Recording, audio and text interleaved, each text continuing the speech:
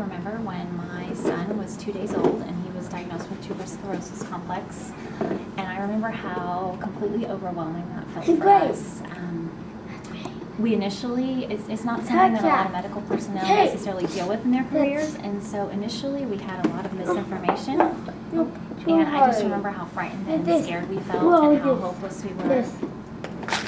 And we got on the Tuberous Sclerosis Alliance website And got some reputable information and we connected with some doctors here at Children's Hospital Boston. And I guess if there's anything that I could say to a new parent who just has an infant that was diagnosed is that there is hope out there. You read all these horrible things that can go wrong and yes, some of those things may happen to your child, but they won't all. And, and so many of those things are further down the road.